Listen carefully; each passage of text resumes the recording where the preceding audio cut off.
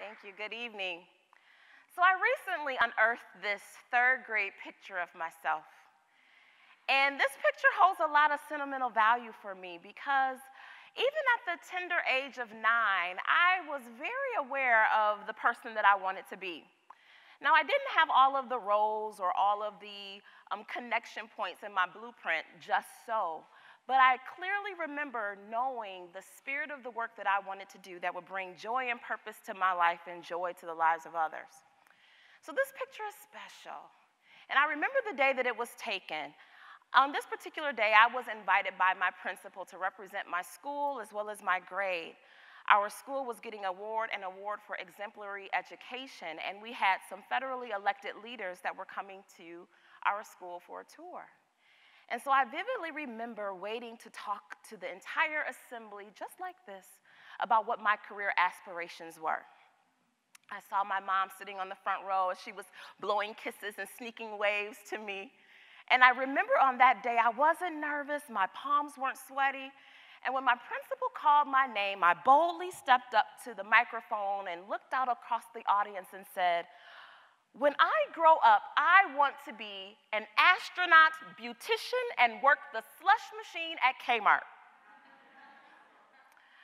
the silence following that declaration was deafening. My principal's face literally dropped. The, my teachers, their jaws went slack. I could see my mother's eyes bug as she gave me her classic, Girl, what did you just say? Look.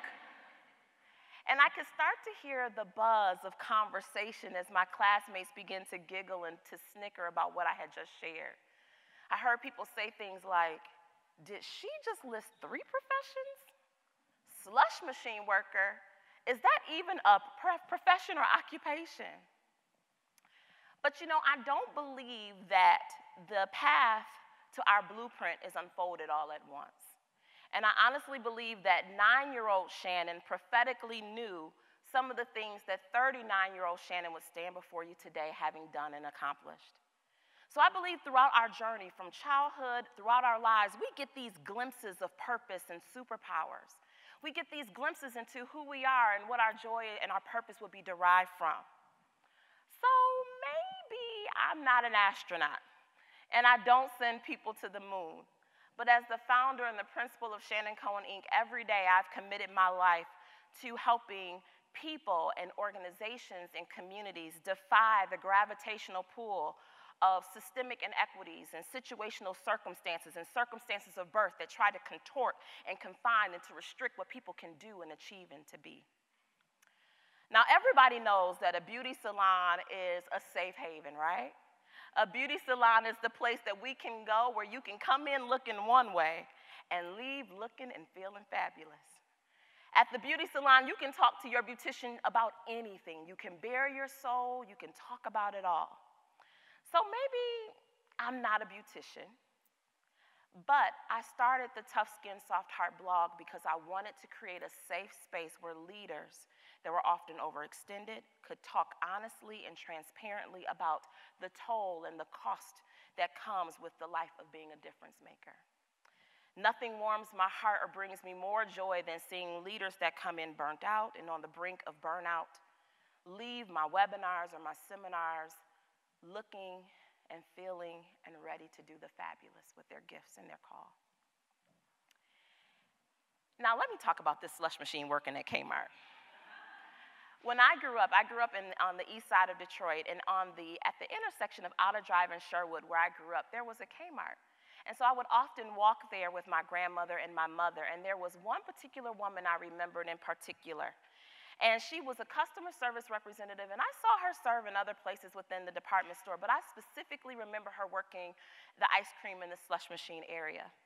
And every time that I would go there, she would treat my 88 cent slush purchase as if it was the most important financial transaction that Kmart would encounter that day. And I wanted to be her. She was my first community based example of what it meant to be attentive to detail, of people care, and what it meant to be excellent in your craft. And so, even now, when I think about the organizations and the movements and the initiatives I've had the honor to birth and scale and to be part of, I use those childhood experiences with her as a litmus test to remind me of the excellence that I want to show in how I treat people, how I connect with people, and how I'm attentive to people in, their, in serving them. So I'm not the only superhero in the room. I believe that all of us, we're ordinary people that are seeking to use our gifts to make extraordinary contributions for the shared destiny of us all. So, as we're all here tonight thinking about our blueprint and how we want to connect the dots, I'd like to leave you with two things to think about in your own journey. The first is to think about what it would take for you to live at the intersection of joy and purpose. So often I encounter leaders that are living at the intersection of everything else. We know as leaders how to live at the intersection of obligation and duty. We know how to live at the intersection of got to and don't want to. But I honestly believe that it is when we find ourselves in that sweet spot space of living at the intersection of joy and purpose that we can really be transformative, not just in our lives, but in the lives of others. So I'm curious how might revisiting some of your childhood conversations, memories, dreams, journals, and experiences help you to live at the intersection of joy and purpose in this season of your blueprint? The second thing is the importance of speaking life to the dreams of your own soul. See, I'm of the mindset that our ears and our hearts are connected to our mouths, and that we will believe what we say about ourselves more than what we would believe about what others have to say about us. And so, as fellow superheroes in this room, it's important that we speak life to the dreams of our soul, even before other people get it, understand it, appreciate it, or embrace it. I find it so ironic that many of the very things that people giggled about that fateful day in the third grade at that honor roll assembly today are pillars of my competitive advantage in the marketplace. So I'm curious how might speaking life to the dreams of your own soul right now, when it's just a dream, be critical in this stage of your blueprint? So as I close, Whenever I write my Tough Skin, Soft Heart blog, I always like to leave readers with something to think about and to ponder even beyond the conversation, and I'd love to do that today. Is adulting getting in the way of you really walking in the fullness of your gifts and your talents?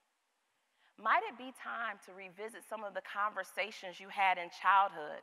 Because childhood is one of those unique, special, precious seasons in our lives that are often accompanied with some of our most limitless thinking and often accompanied with us being unfettered with our perception of self and what we can be and do, especially as it relates to the opinions and the perceptions and the pressures from other people. So I hope you're inspired today as you think about your blueprint between your X and your Y to go back to those early conversations that you've had with yourself and to let that ignite you to engage all of your superpowers, to live at the intersection of joy and purpose, and to speak life to the dreams of your own soul. Thank you.